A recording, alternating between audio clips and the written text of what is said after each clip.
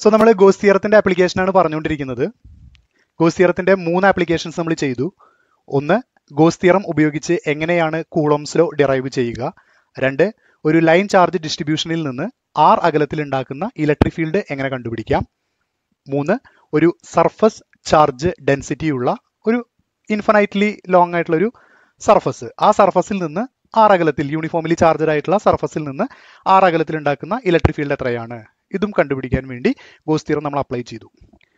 ഇനി ഇന്നത്തെ ക്ലാസ്സിൽ നമുക്ക് ഗോസ് തിയറം ഉപയോഗിച്ച് ഒരു thin spherical shell uniformly charged ആയിട്ടുള്ള തിൻ സ്ഫെറിക്കൽ ഷെല്ലിൽ നിന്ന് ആർ അകലത്തിൽ ഉണ്ടാക്കുന്ന ഇലക്ട്രിക് ഫീൽഡ് എങ്ങനെ കണ്ടുപിടിക്കും? ഇതാണ് നമ്മൾ ചെയ്യാൻ പോകുന്നത്. ഷെല്ല് എന്ന് പറഞ്ഞാൽ നിങ്ങൾക്കറിയാം ഉൾവശം ഹോളോ ആയിട്ടുള്ള ഉൾവശം പൊള്ളയായിട്ടുള്ള ഒരു സ്ട്രക്ചറിനെയാണ് ഷെല്ല് എന്ന് വിളിക്കുക. സ്ഫെറിക്കൽ ഷെല്ല് എന്ന് പറയുമ്പോൾ സ്ഫെറിക്കൽ ഷേപ്പിലുള്ള ഒരു ഷെല്ല് ഫുട്ബോൾ ഒരു എക്സാമ്പിൾ ആണ്. ഉൾവശം ഹോളോ ആയിരിക്കണം സോളിഡ് ആയിരിക്കരുത്. ഫുട്ബോൾ ഒരു എക്സാമ്പിൾ ആണ്. പക്ഷേ ഫുട്ബോൾ തിൻ സ്ഫെറിക്കൽ ഷെല്ലല്ല കാരണം അതിന്റെ സർഫസ് വളരെ തിക്കായിട്ടുള്ള സർഫസാണ് സോപ്പ് ബബിൾ എടുത്തു കഴിഞ്ഞാൽ സ്ഫെറിക്കൽ ബബിൾ എടുത്തു കഴിഞ്ഞാൽ അതിന്റെ സർഫസ് തിന്നാണ് അപ്പൊ അത്തരം തിൻ സർഫസുകളുള്ള ഉൾവശം ഹോളോ ആയിട്ടുള്ള സ്ഫെറിക്കൽ ഷേപ്പുകളെയാണ് നമ്മൾ സ്ഫെറിക്കൽ ഷെല്ല് എന്ന് വിളിക്കുക. അപ്പൊ അത്തരം ഒരു ഷെല്ല് നമ്മൾ ഇമാജിൻ ചെയ്യുന്നു. ആ ഷെല്ലിന്റെ സർഫസിൽ യൂണിഫോം ആയിട്ട് ചാർജ് ഡിസ്ട്രിബ്യൂട്ട് ചെയ്തിട്ടുണ്ട് എന്ന് വിചാരിക്കുക. യൂണിഫോം ചാർജ് ഡിസ്ട്രിബ്യൂഷൻ ആണ്. ഷെല്ലിന്റെ ഉൾവശത്ത് ചാർജ് ഡിസ്ട്രിബ്യൂട്ട് ചെയ്യുന്നില്ല. അതുകൊണ്ട് ഇത് വോളിയം ചാർജ് ഡിസ്ട്രിബ്യൂഷൻ അല്ല. പകരം സർഫസ് ചാർജ് ഡിസ്ട്രിബ്യൂഷൻ ആയിരിക്കും. കാരണം സർഫസിൽ മാത്രമേ നമ്മൾ ചാർജസിനെ ഡിസ്ട്രിബ്യൂട്ട് ചെയ്തിട്ടുള്ളൂ. അത് മറന്നു പോകരുത് കേട്ടോ അപ്പൊ സ്ഫെറിക്കൽ ഷെല്ലല്ലേ സ്ഫിയർ അല്ലേ വോളിയം അല്ലേ എന്ന് വിചാരിച്ച് വോളിയം ചാർജ് ഡിസ്ട്രിബ്യൂഷൻ അല്ല. പകരം സർഫസ് ചാർജ് ഡിസ്ട്രിബ്യൂഷൻ ആണ്. അപ്പൊ അങ്ങനെ ഒരു thin spherical shell uniformly charged ആയിട്ടുള്ള തിൻ സ്ഫെറിക്കൽ ഷെല്ല് ഇമാജിൻ ചെയ്ത് കഴിഞ്ഞാൽ ആ ഷെല്ലിന്റെ ഡിഫറെന്റ് പോയിന്റുകളിൽ ആ ചാർജ് ഉണ്ടാക്കുന്ന ഇലക്ട്രിക് ഫീൽഡിന്റെ വാല്യൂ എത്രയാണ് എന്ന് നമുക്ക് ഗോസ് തിയറം ഉപയോഗിച്ച് കണ്ടുപിടിക്കാൻ പറ്റും. അപ്പൊ ഞാനൊരു ഷെല്ല് ഇവിടെ വരയ്ക്കാം. ഇങ്ങനെ ഒരു തിൻ സ്ഫെറിക്കൽ ഷെല്ല് ഞാൻ ഇമാജിൻ ചെയ്യുന്നു. ആദ്യം തന്നെ മനസ്സിലാക്കണം ഇത് സർക്കിൾ അല്ല ഷെല്ലാണ് നന്നായിട്ട് ഇമാജിൻ ചെയ്യാട്ടോ കേട്ടോ ഇതൊരു ഷെല്ലാണ് ഒരു സ്ഫെറിക്കൽ ഷേപ്പുള്ള ഷെല്ല് ഇതിന്റെ സർഫസിൽ യൂണിഫോം ആയിട്ട് നമ്മൾ പോസിറ്റീവ് ചാർജസിനെ ഡിസ്ട്രിബ്യൂട്ട് ചെയ്തിട്ടുണ്ട്. അപ്പോൾ സർഫസ് മുഴുവൻ യൂണിഫോമിലി പോസിറ്റീവ് ചാർജസ് ഡിസ്ട്രിബ്യൂട്ട് ചെയ്തിരിക്കുന്നു. കഴിഞ്ഞ ക്ലാസ്സിൽ നമ്മൾ പഠിച്ച സർഫസ് ചാർജ് ഡെൻസിറ്റി പഠിക്കുമ്പോൾ ഒരു പ്ലെയിൻ ഷീറ്റ് ഓഫ് ചാർജാണ് എടുത്ത് ഇത് പ്ലെയിനിന് പകരം സ്ഫെറിക്കൽ ഷേപ്പുള്ള ഒരു സ്ട്രക്ചർ നോക്കൂ ഉൾവശത്ത് ചാർജ് ഒന്നുമില്ല ഉൾവശം ഹോളോയാണ് ഈ സ്ഫെറിക്കൽ ഷെല്ലിന്റെ തിൻ സ്ഫെറിക്കൽ ഷെല്ലിന്റെ റേഡിയസ് ക്യാപിറ്റൽ ആർ ആണ് എന്ന് വിചാരിക്കൂ. അങ്ങനെയാണെങ്കിൽ ഈ സ്ഫെറിക്കൽ ഷെല്ലിന്റെ സർഫസിലെ area surface area will be a is equal to four pi capital R square ആയിരിക്കും. ശരിയല്ലേ? ക്യാപിറ്റൽ ആർ സ്ക്വയർ ആയിരിക്കും. അങ്ങനെയാണെങ്കിൽ ഇതിന്റെ സർഫസ് ചാർജ് ഡെൻസിറ്റി നമുക്ക് ഡിഫൈൻ ചെയ്യാൻ പറ്റും. സർഫസ് ചാർജ് ഡെൻസിറ്റിയുടെ ഇക്വേഷൻ എന്താ? Surface charge density sigma is equal to total charge distributed അപ്പോൾ ഇതിലത്തെ ഒരു സിംഗിൾ ചാർജ് അല്ല ക്യൂ പകരം ഈ സർഫസിൽ ഞാൻ ടോട്ടൽ ആയിട്ട് ഡിസ്ട്രിബ്യൂട്ട് ചെയ്തിരിക്കുന്ന ചാർജിന്റെ വാല്യൂ ആണ് ക്യൂ അപ്പൊ ഈ ടോട്ടൽ ചാർജിനെ ടോട്ടലി സർഫസിൽ ഡിസ്ട്രിബ്യൂട്ട് ചെയ്തിരിക്കുന്ന ചാർജിനെ സർഫസ് ഏരിയ കൊണ്ട് ഡിവൈഡ് ചെയ്താൽ കിട്ടുന്ന ഈ ക്വാണ്ടിറ്റി ആണ്. That is q divided by four pi capital R square is the surface charge density of this spherical charge distribution ഈ സ്ഫെറിക്കൽ ഷെല്ലിൽ നിങ്ങൾ ഡിസ്ട്രിബ്യൂട്ട് ചെയ്തിരിക്കുന്ന ചാർജിന്റെ surface charge density sigma is equal to q by four pi R square ആണ് എന്ന് നമുക്ക് define ചെയ്യാം. അപ്പോൾ ഈ ഒരു ഇക്വേഷൻ ഓർത്ത് വെക്കുക ഇത് നമുക്ക് ആവശ്യം വരും. നൗ ഇനി ഈ ക്വസ്റ്റ്യനിൽ പറയുന്നത് നിങ്ങൾ മൂന്ന് പോയിന്റ് ഇമാജിൻ ചെയ്യുക. മൂന്ന് പോയിന്റുകൾ ആ മൂന്ന് പോയിന്റുകൾ ഏതൊക്കെയാണെന്ന് ഞാൻ പറയാം. ഒന്നാമത്തെ പോയിന്റ് ഈ സർഫസിൽ നിന്ന് ഈ സ്ഫെറിക്കൽ ഷെല്ലിൽ നിന്ന് സെന്ററിൽ നിന്ന് ഔട്ട്സൈഡിൽ ഒരു പോയിന്റ് രണ്ടാമത്തേത് സർഫസിൽ ഒരു പോയിന്റ് മൂന്നാമത്തേത് ഷെല്ലിന്റെ ഉൾവശത്തൊരു പോയിന്റ് ഇങ്ങനെ മൂന്ന് പോയിന്റുകൾ നിങ്ങൾ ഡിഫൈൻ ചെയ്തു കഴിഞ്ഞാൽ ഈ ഓരോ പോയിന്റിലും ഈ സർഫസ് ചാർജ് ഡിസ്ട്രിബ്യൂഷൻ മൂലം ഉണ്ടാകുന്ന ഇലക്ട്രിക് ഫീൽഡിന്റെ വാല്യൂ എത്രയാണ് എന്ന് കണ്ടുപിടിക്കണം. കോംപ്ലിക്കേറ്റഡ് ആണോ? വളരെ സിമ്പിൾ ആയിട്ടുള്ള ഒരു എസ് എ ക്വസ്റ്റൻ ആണിത്. ഒരുപാട് തവണ റിപ്പീറ്റ് ചെയ്ത് റിപ്പീറ്റ് ചെയ്ത് ഹയർ സെക്കൻഡറി എക്സാമിനേഷന് ചോദിച്ചൊരു ക്വസ്റ്റൻ ആണിത്. നാല് മാർക്കിനോ മൂന്ന് മാർക്കിനോ ചോദിക്കുന്ന സ്ഥിരം ക്വസ്റ്റ്യൻ സി ബി എസ് സിക്കും ചോദിക്കാറുള്ള ഒരു സ്ഥിരം ക്വസ്റ്റൻ ആണ്. വളരെ സിമ്പിൾ ആയിട്ടുള്ള ഡെറിവേഷനാണ് ഓൾറെഡി നിങ്ങൾ ഗോസ് തിയറം എങ്ങനെ അപ്ലൈ ചെയ്യാന്നുള്ളത് പഠിച്ചു. ഗോസ് തിയറം അപ്ലൈ ചെയ്യുമ്പോൾ നാല് പ്രധാനപ്പെട്ട സ്റ്റെപ്പ് ഉണ്ട്. അതേ സ്റ്റെപ്പുകൾ തന്നെയാണ് നമ്മൾ ഇവിടെയും അപ്ലൈ ചെയ്യുന്നത്. അപ്പോൾ നിങ്ങൾക്ക് അപ്ലൈ ചെയ്യാനൊന്നും വളരെ സിമ്പിൾ ആയിട്ട് ചെയ്യാൻ പറ്റും. അപ്പോൾ നമുക്ക് ഇതൊന്ന് ചെയ്തു നോക്കാം. അപ്പോൾ ആദ്യം എവിടെയാണ്? A point outside the shell രണ്ട് സർഫസ് ഓഫ് ദ ഷെൽ മൂന്ന് ഇൻസൈഡ് ദ ഷെൽ ക്ലിയർ അപ്പൊ നമുക്ക് ആദ്യത്തെ ഒന്ന് ചെയ്തു നോക്കാം. അപ്പൊ നിങ്ങൾ ഇങ്ങനെ ഒരു ഷെല്ല് ഇമാജിൻ ചെയ്യുന്നു. നന്നായി ഇമാജിൻ ചെയ്യുക. സർഫസിൽ ആർ റേഡിയസ് ഉള്ള ഒരു ഷെല്ല് ഇമാജിൻ ചെയ്യുന്നു. ഈ ഷെല്ലിന്റെ സെന്ററിൽ നിന്ന് ഇവിടെ ഞാനൊരു പോയിന്റ് ഇമാജിൻ ചെയ്തു. പി അപ്പൊ നമ്മുടെ ആദ്യത്തെ കേസ് ശ്രദ്ധിക്കുക. First case is a point outside the shell ഇതാണ് ആദ്യത്തെ case a point outside the shell നോക്ക് ഞാൻ ഇമാജിൻ ചെയ്ത പോയിന്റിലേക്ക് ഈ ഷെല്ലിന്റെ സെന്ററിൽ നിന്നുള്ള അകലം. ഇമാജിൻ ചെയ്ത പോയിന്റിലേക്ക് ഷെല്ലിന്റെ സെന്ററിൽ നിന്നുള്ള അകലം സ്മോൾ ലെറ്റർ ആർ ആണെന്ന് വിചാരിക്കൂ. ഇമാജിൻ ചെയ്ത പോയിന്റിലേക്ക് ഷെല്ലിന്റെ സെന്ററിൽ നിന്നുള്ള അകലം സ്മോൾ ലെറ്റർ ആർ നിങ്ങൾക്ക് നോക്കിയാൽ അറിയാം ഈ സ്മോൾ ലെറ്റർ ആറ് ഷെല്ലിന്റെ റേഡിയസിനേക്കാളും വലുതാ. അതായത് ഞാൻ പുറത്ത് എവിടെ എവിടെ പോയിന്റ് ഇമാജിൻ ചെയ്താലും ആ പോയിന്റിലേക്കുള്ള ഡിസ്റ്റൻസ് ഷെല്ലിന്റെ റേഡിയസിനേക്കാളും ചെറുതായിരിക്കും. അപ്പോൾ വലുതായിരിക്കും സോറി വലുതായിരിക്കും. അപ്പോൾ ഒരു പോയിന്റ് ഔട്ട്സൈഡ് ദ ഷെൽ എന്ന് പറഞ്ഞു കഴിഞ്ഞാൽ distance to the point will be greater than radius of the shell ഇങ്ങനെയാണ് നമ്മൾ ഓർത്തിരിക്കുക. R is greater than capital R അപ്പൊ ഈ പോയിന്റിലെ ഇലക്ട്രിക് ഫീൽഡ് എത്രയത് കണ്ടുപിടിക്കണം.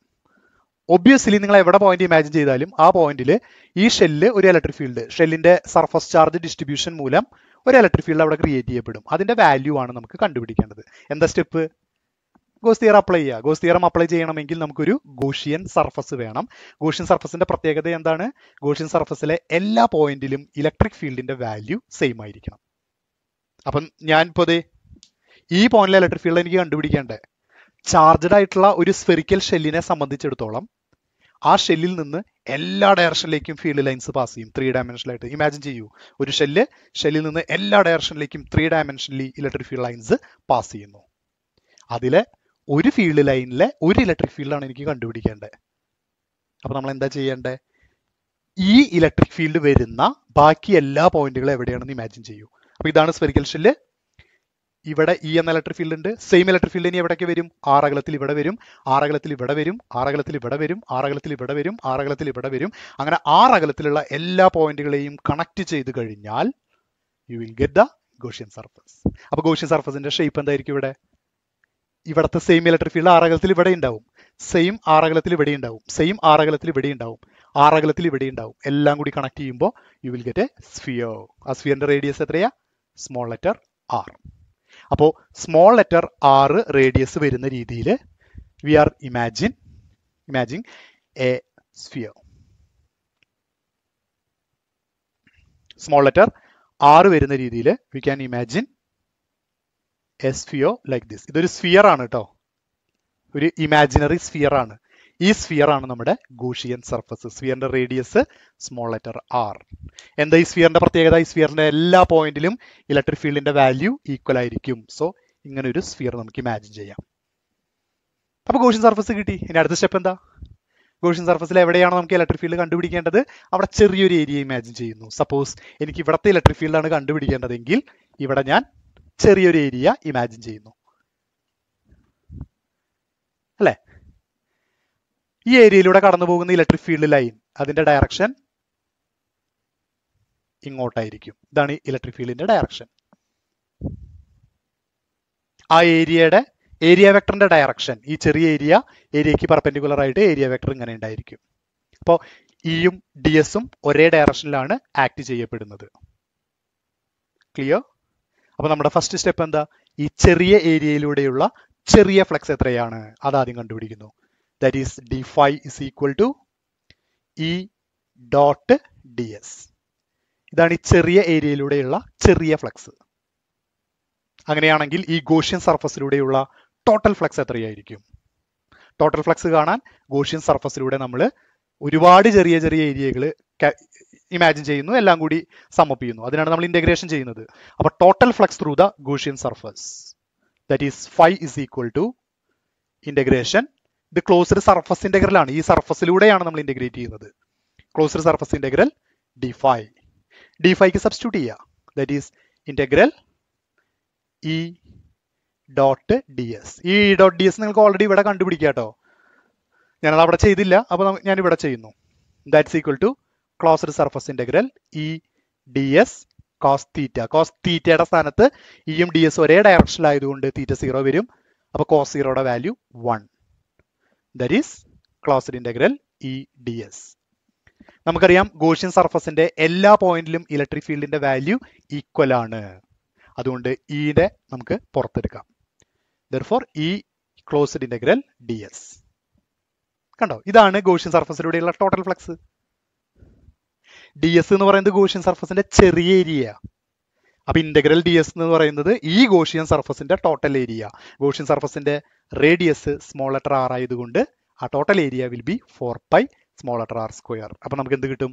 That's equal to total flux phi is equal to E into four pi small letter r square ഇതെങ്ങനെ വന്നെന്ന് മനസ്സിലായില്ലേ? സ്മോൾ ലെറ്റർ ആർ സ്ക്വയർ നമ്മൾ ഈ ഗോഷ്യൻ സർഫസിന്റെ റേഡിയസ് ആണ് കണ്ടുപിടിച്ചത്. അല്ല ഏരിയ ആണ് കണ്ടുപിടിച്ചത്. അപ്പോൾ ഗോഷ്യൻ സർഫസിന്റെ റേഡിയസ് ആണ് നമ്മൾ അവിടെ എടുക്കേണ്ടത്. ഇപ്പൊ നമുക്ക് ജനറൽ ഇക്വേഷൻ ഉപയോഗിച്ച് ഗോഷ്യൻ സർഫസിലൂടെയുള്ള ടോട്ടൽ ഫ്ലക്സ് കിട്ടി. അടുത്ത സ്റ്റെപ്പ് എന്താ? ഗോസ് തിയറം അപ്ലൈ ചെയ്ത് ടോട്ടൽ ഫ്ലക്സ് കണ്ടുപിടിക്കണം. ശരിയല്ലേ? അപ്പൊ ഞാൻ ഈ ഗോഷ്യൻ സർഫസിലേക്ക് ഈ ഗോഷ്യൻ സർഫസിലേക്ക് നമ്മൾ ഗോസ് തിയറം അപ്ലൈ ചെയ്യുന്നു. സോ അപ്ലൈയിങ് ഗോസ് തിയറം ഈ ഗോഷ്യൻ സർഫസിൽ ഗോസ് തിയറം അപ്ലൈ ചെയ്യുന്നു. ഗോസ് തിയറം അപ്ലൈ ചെയ്താൽ എന്ത് കിട്ടും? Total flux phi is equal to Gaussian surface enclose ചെയ്തിരിക്കുന്ന ചാർജ്. ഞാൻ ആദ്യമേ പറഞ്ഞു ഗോഷ്യൻ സർഫസിന്റെ ടോട്ടൽ സർഫസ് ചാർജ് ക്യൂ ആണ്. അപ്പൊ ഗോഷ്യൻ അല്ല നമ്മൾ ഇമാജിൻ ചെയ്തിരിക്കുന്ന ഈ സ്ഫെറിക്കൽ ഷെല്ലിന്റെ ടോട്ടൽ ചാർജ് ക്യൂ ആണ്.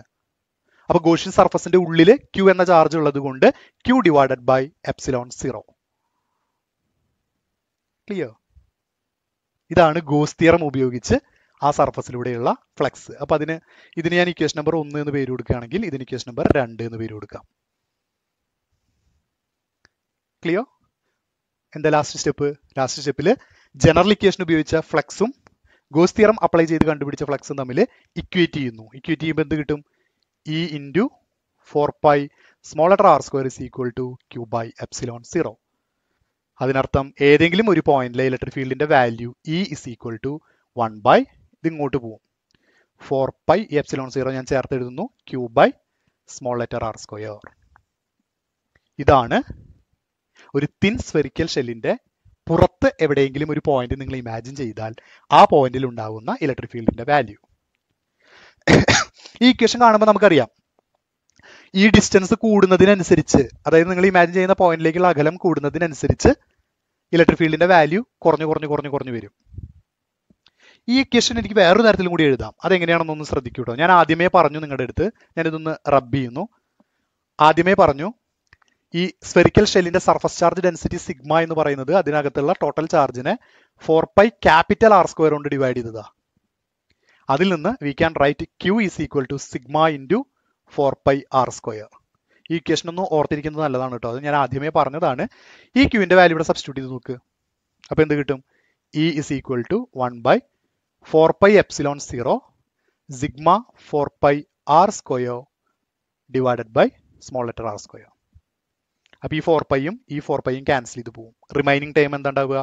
E is equal to sigma capital R square divided by epsilon zero small letter R square so ഈ രണ്ട് ഇക്വേഷനും ഈ രണ്ട് ഇക്വേഷനും ഒരു തിൻ സ്ഫെറിക്കൽ ഷെല്ലിന്റെ സെന്ററിൽ നിന്ന് ആർ അകലത്തിൽ ഉണ്ടാക്കുന്ന ഇലക്ട്രിക് ഫീൽഡ് കണ്ടുപിടിക്കാനുള്ള ഇക്വേഷനാണ് ആദ്യത്തെ ഇക്വേഷൻ ഷെല്ലിന്റെ ചാർജിന്റെ ടേംസിലും രണ്ടാമത്തെ ഇക്വേഷൻ സർഫസ് ചാർജ് ഡെൻസിറ്റിയുടെ ടേംസിലുള്ളതുമാണ് ക്ലിയർ അല്ലേ?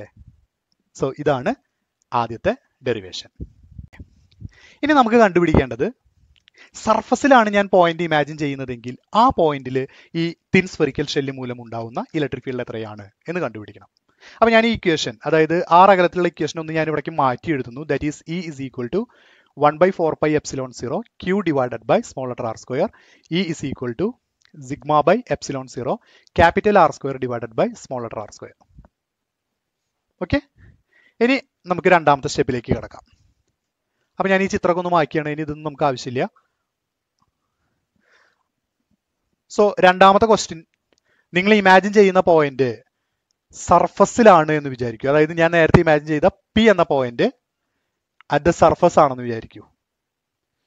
അപ്പോൾ ഒരു തിൻ സ്ഫെറിക്കൽ ഷെല്ലിന്റെ സർഫസിൽ ഉണ്ടാവുന്ന ഇലക്ട്രിക് ഫീൽഡ് എത്രയാണ് എന്നാണ് നമുക്ക് കണ്ടുപിടിക്കേണ്ടത്. നമുക്ക് നേരത്തെ ഈ പോയിന്റ് ഇവിടെയായിരുന്നു. അപ്പോൾ ഡിസ്റ്റൻസ് ആറായിരുന്നു ഇപ്പോൾ ആ പോയിന്റ് ഞാൻ ഇവിടേക്ക് കൊണ്ടുവന്നു. അതിനർത്ഥം നമ്മൾ ഇമാജിൻ ചെയ്യുന്ന പോയിന്റിലേക്കുള്ള അകലം ആർ എന്ന് പറയുന്നത് സർക്കിളിന്റെ സോറി സ്ഫിയറിന്റെ റേഡിയസിന് ഈക്വൽ ആയിട്ട് മാറി. നമ്മൾ ഇമാജിൻ ചെയ്യുന്ന പോയിന്റിലേക്കുള്ള ദൂരം സ്ഫിയറിന്റെ റേഡിയസിന് ഈക്വൽ ആയിട്ട് മാറി. That is R is equal to R distance കുറഞ്ഞു. ഇമാജിൻ ചെയ്ത പോയിന്റ് നേരത്തെ ഇവിടെയായിരുന്നു. ഇപ്പൊ ആ പോയിന്റ് ഇവിടെയാക്കി ഓട്ടോമാറ്റിക്കലി ആർ എന്ന ഡിസ്റ്റൻസ് കുറഞ്ഞ് റേഡിയസിന് ഈക്വൽ ആയിട്ട് മാറി.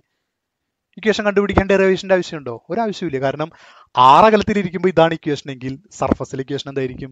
That is E is equal to one by four pi epsilon zero Q divided by ഇവിടെ ഈ സ്മോൾ ലെറ്റർ ആറിന്റെ സ്ഥാനത്ത് നോക്ക് ഇപ്പൊ ആർ ഏതിന് തുല്യമായി? ക്യാപിറ്റൽ ആറിന് തുല്യമായി. Therefore it will be Q by R square distance കുറയുക ചെയ്തേ.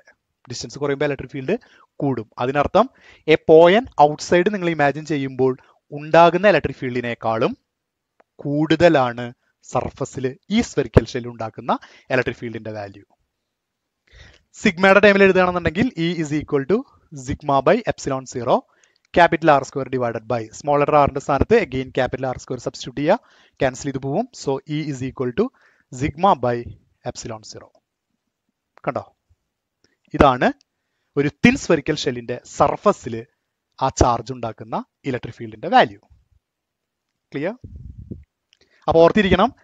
പോയിന്റ് ഔട്ട്സൈഡ് ഉണ്ടാക്കുന്ന ഇലക്ട്രിക് ഫീൽഡിനേക്കാളും കൂടി കൂടി കൂടി വരും അടുത്തേക്ക് വരും തോറും. അതായത് ഡിസ്റ്റൻസ് കുറയും തോറും ഇലക്ട്രിക് ഫീൽഡിന്റെ വാല്യൂ കൂടി കൂടി വരും.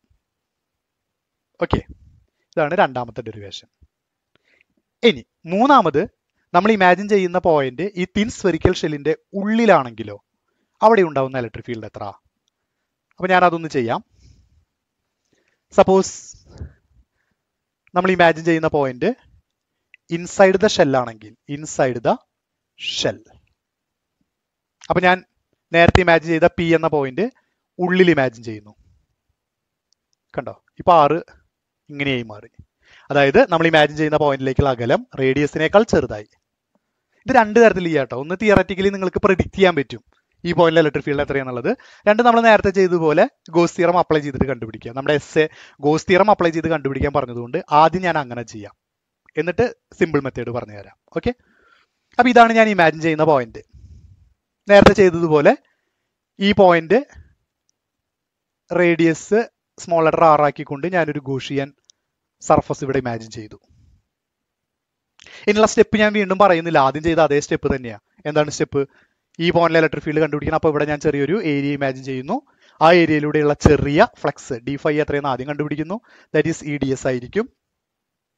ദെൻ ഈ സർഫസിലൂടെയുള്ള total flux phi is equal to integral E D S ആയിരിക്കും.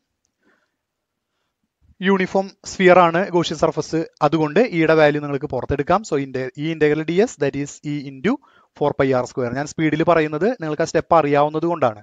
ഓക്കെ നൗ ഈ ഗോഷ്യൻ സർഫസിന് നിങ്ങൾ ഗോസ് തിയറം അപ്ലൈ ചെയ്യുമ്പോൾ phi is equal to Q by epsilon zero ഇവിടെയാണ് കഥ മാറുന്നത്. എന്താ കഥ മാറിയ? ഈ ഗോഷ്യൻ സർഫസിന്റെ ഉള്ളിൽ എൻക്ലോസ് ചെയ്യേണ്ട ചാർജാണ് ക്യൂ ഗോസ് തിയറം അനുസരിച്ച് ക്യൂ ബൈ എഫ്സിലോൺ സീറോ ലെ ക്യൂ എന്ന് പറയുന്നത് it is the charge enclosed by the closed surface ഇതാണ് എന്റെ ക്ലോസ്ഡ് സർഫസ് ഈ ക്ലോസ്ഡ് സർഫസിന്റെ അകത്ത് ചാർജ് വല്ലതും ഉണ്ടോ? ഞാൻ ആദ്യമേ പറഞ്ഞു ഈ ഭാഗം മൊത്തം എം ടി സ്പേസാ അല്ലെങ്കിൽ എയർ ആണ്. അതിന്റെ ഉള്ളിൽ യാതൊരു തരത്തിലുള്ള ചാർജ് ഇരിക്കുന്നില്ല. അപ്പം നിങ്ങൾ ഈ ഇമാജിൻ ചെയ്ത ഗോഷിയൻ സർഫസിന്റെ ഉള്ളിൽ ചാർജ് വല്ലതും ഉണ്ടോ? ഇല്ല. സോ ക്യൂടെ വാല്യൂ സീറോ ആയതുകൊണ്ട് ഈ phi is equal to zero ആയിരിക്കും. അപ്പൊ ഗോസിയറം വെച്ചിട്ടുള്ള ഫൈയും ഇതും ഈക്വൽ ആവേണ്ടത് കൊണ്ട് ഈ four pi R square must be equal to zero that is E is equal to zero വളരെ വളരെ വളരെ പ്രധാനപ്പെട്ട ഒരു പോയിന്റ് ആണിത്. ഏതൊരു ചാർജഡ് സ്ഫെറിക്കൽ ഷെൽ എടുത്താലും അതിന്റെ ഉൾവശത്തെ ഇലക്ട്രിക് ഫീൽഡിന്റെ വാല്യൂ എല്ലായ്പ്പോഴും സീറോ ആയിരിക്കും. ഇങ്ങനെയാണ് മാത്തമാറ്റിക്കലി അത് പ്രൂവ് ചെയ്യുക. കാരണം ഉള്ളിൽ ചാർജ് ഒന്നും എൻക്ലോസ് ചെയ്തിട്ടില്ല. ദർഫോർ ഉള്ളിൽ നിങ്ങൾ എവിടെ ഒരു പോയിന്റ് ഇമാജിൻ ചെയ്താലും ഫ്ലക്സിന്റെ വാല്യൂ സീറോ ആയിരിക്കും ഇലക്ട്രിക് ഫീൽഡിന്റെ വാല്യൂ സീറോ ആയിരിക്കും. ഇതിങ്ങനെ ഡിറൈവ് ചെയ്യേണ്ട ആവശ്യമൊന്നുമില്ല. നമുക്ക് പ്രഡിക്റ്റ് ചെയ്യാൻ പറ്റും. കാരണം നോക്ക് ഇതാണ് തിൻ സ്ഫെറിക്കൽ ഷെല്ല് ഇതിന്റെ ഫീൽഡ് ലൈൻസിന്റെ ഡയറക്ഷൻ ഇങ്ങനെയാ വരിക കണ്ട? ശരിയല്ലേ? പോസിറ്റീവ്ലി ചാർജഡ് ആയതുകൊണ്ട് ഫീൽഡ് ലൈൻസിന്റെ ഡയറക്ഷൻ ഇങ്ങനെയാണ്. നിങ്ങൾക്കറിയാം ഇലക്ട്രിക് ഫ്ലക്സ് എന്ന് പറയുന്നത് it is the number of field lines passing normally through an area അപ്പൊ ഞാൻ ഇവിടെ ഒരു പോയിന്റ് ഇമാജിൻ ചെയ്ത് കഴിഞ്ഞാൽ അതിന്റെ ഉള്ളിലൂടെ ഇലക്ട്രിക് ഫീൽഡ് ലൈൻസ് പാസ് ചെയ്യുന്നുണ്ടോ? ഇല്ല. Inside the shell, electric field lines are zero there is no electric field lines inside a charged shell അപ്പോൾ ഉള്ളിൽ ഇലക്ട്രിക് ഫീൽഡ് ലൈൻസ് ഇല്ലാത്തിടത്തോളം കാലം ഇലക്ട്രിക് ഫീൽഡിന്റെ വാല്യൂ സീറോ ആയിരിക്കും. അത് നമുക്ക് പ്രഡിക്റ്റ് ചെയ്യാൻ പറ്റും. ഓക്കെ അപ്പോൾ ഇത് ഓർത്ത് വെക്കുക ഏതൊരു ചാർജ്ഡ് ഷെല്ലിന്റെയും ഉള്ളിലെ inside the shell the electric field is equal to zero clear അതാണ് മൂന്ന് ഡെറിവേഷൻസ് അപ്പം ഞാനതൊന്ന് ടാബ്ലേറ്റ് ചെയ്തിട്ട് എഴുതാം. ഈ ചിത്രമൊക്കെ ഒന്ന് മാറ്റിട്ട് നമുക്കൊന്ന് ടാബ്ലേറ്റ് ചെയ്തിട്ട് എഴുതാം. അപ്പൊ ആദ്യം a point outside the shell അതിന്റെ ഇക്വേഷൻ എന്തായിരുന്നു? E is equal to one by four pi epsilon zero Q divided by R square അല്ലെങ്കിൽ E is equal to sigma by epsilon zero R square divided by R square ഇത് എവിടെയായിരുന്നു a point outside the shell which means R is ഞാൻ imagine ചെയ്യുന്ന പോയിന്റിലേക്കുള്ള ദൂരം റേഡിയസിനേക്കാളും വലുതാണ്. രണ്ടാമത് എന്തായിരുന്നു? E is equal to one by four pi epsilon zero Q divided by capital R square that is E is equal to sigma by epsilon zero ഇതെവിടെയായിരുന്നു? At the surface നമ്മൾ imagine ചെയ്യുന്ന point സർഫസിലാണ് and മൂന്നാമത് നമ്മൾ imagine ചെയ്യുന്ന point inside the ഷെല്ലാണെങ്കിൽ അവിടുത്തെ electric ഫീൽഡിന്റെ value zero ആയിരിക്കും. Here R is less than capital R എന്ത് രസമുള്ള ഡെറിവേഷൻ ആണല്ലേ ഇതാണ് ഏറ്റവും കൂടുതൽ തവണ ഒന്നാമത്തെ ചാപ്റ്ററിൽ നിന്ന് നിരവധി തവണ ചോദിച്ചിരിക്കുന്ന ഒരു ക്വസ്റ്റ്യൻ വളരെ സിമ്പിൾ ആണ്. അപ്പൊ ഇതിൽ ഏറ്റവും കൂടുതൽ ഇലക്ട്രിക് ഫീൽഡ് എവിടെയാ? ഏറ്റവും കൂടുതൽ ഇലക്ട്രിക് ഫീൽഡ് സർഫസിലാണ് ഞാൻ ആദ്യം പറഞ്ഞു.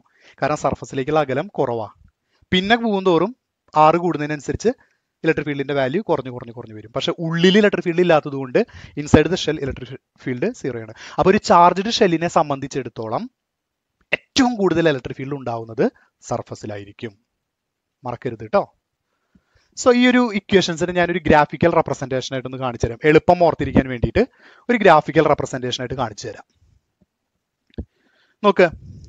സപ്പോസ് ഇതാണ് നമ്മുടെ തിൻ സ്ഫെറിക്കൽ ഷെല്ല് എന്ന് വിചാരിക്കൂ.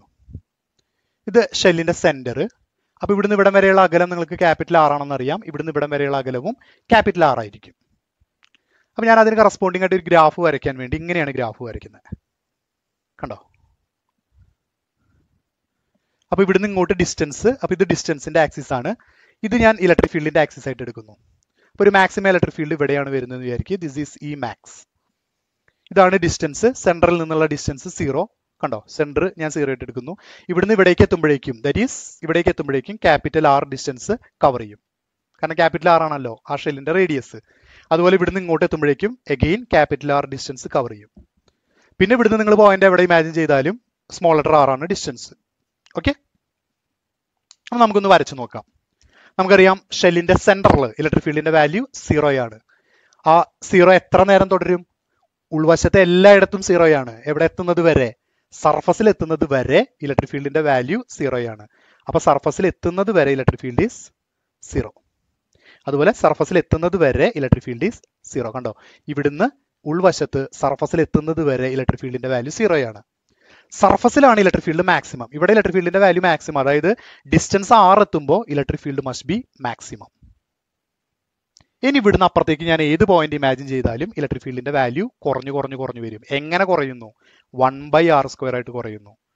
അപ്പൊ കുറഞ്ഞു വരുന്നത് സ്ട്രെയിറ്റ് ലൈൻ ആയിരിക്കുമോ ആയിരിക്കില്ല. ഓക്കെ അപ്പൊ നോക്കിയേ സെൻട്രൽ സീറോ പിന്നെ ഇങ്ങോട്ട് പോകും തോറും സീറോ തന്നെ സർഫസിലെത്തിയപ്പോൾ സർഫസിൽ നിന്ന് സഡൻലി മാക്സിമം ഇലക്ട്രിക് ഫീൽഡ് ആയി. പിന്നെ നിങ്ങൾ എങ്ങോട്ട് പോകുമ്പോൾ അതായത് ഔട്ട്സൈഡ് ദ ഷെൽ ഇലക്ട്രിക് ഫീൽഡിന്റെ വാല്യൂ കുറഞ്ഞു കുറഞ്ഞു കുറഞ്ഞു വരും. ഇങ്ങനെ പോകും. ഓക്കെ ഇതേപോലെ ഇങ്ങേ സൈഡിലും സെൻട്രൽ സീറോ ഇങ്ങോട്ട് പോകുന്ന ഇലക്ട്രിക് ഫീൽഡ് സീറോ റേഡിയസിൽ സർഫസിൽ എത്തിയപ്പോൾ ഇലക്ട്രിക് ഫീൽഡ് മാക്സിമം ആയി. പിന്നെ സർഫസിൽ നിന്ന് പുറത്തോട്ട് പോകുന്നതോറും ഇലക്ട്രിക് ഫീൽഡിന്റെ വാല്യൂ കുറഞ്ഞു കുറഞ്ഞു കുറഞ്ഞു വരുന്നു. അപ്പൊ ഇതാണ് ഒരു യൂണിഫോമിലി ചാർജ്ഡ് തിൻ സ്ഫെറിക്കൽ ഷെല്ലിന്റെ ഇലക്ട്രിക് ഫീൽഡും ഡിസ്റ്റൻസും തമ്മിലുള്ള ഗ്രാഫിക്കൽ റെപ്രസെന്റേഷൻ ഇത് മറന്നു പോരുത് കേട്ടോ. അത് ഏതൊരു വർഷം എക്സാമിന് ചോദിച്ചിട്ടുണ്ടായിരുന്നു. അപ്പൊ സെൻട്രലിൽ നിന്നും ആറ് കൂടുന്നതിനനുസരിച്ച് ഇലക്ട്രിക് ഫീൽഡിൽ വരുന്ന വാരിയേഷൻ എപ്പോഴും ഓർമ്മ വേണം സർഫസിലാണ് മാക്സിമം ഇലക്ട്രിക് ഫീൽഡ് ഉണ്ടാവുക. ക്ലിയർ അപ്പൊ ഈ എസ് എ ക്വസ്റ്റ്യൻ ഇന്ന് തന്നെ നന്നായിട്ട് പഠിക്കുക. എന്തെങ്കിലും സംശയങ്ങൾ ഉണ്ടെന്നുണ്ടെങ്കിൽ അടുത്ത ക്ലാസ്സിൽ ചോദിക്കുക. ഓക്കെ ഒരുപാട് തവണ റിപ്പീറ്റ് ചെയ്ത് ചോദിച്ച ചോദ്യമായതുകൊണ്ട് എപ്പോൾ ചോദിച്ചാലും എസ് എ എഴുതാൻ പറ്റുന്ന ഭാഗത്തിൽ വേണം പഠിക്കാൻ. ഓക്കെ അപ്പോൾ നമുക്ക് അടുത്ത ക്ലാസ്സിൽ കണ്ടിന്യൂ ചെയ്യാം.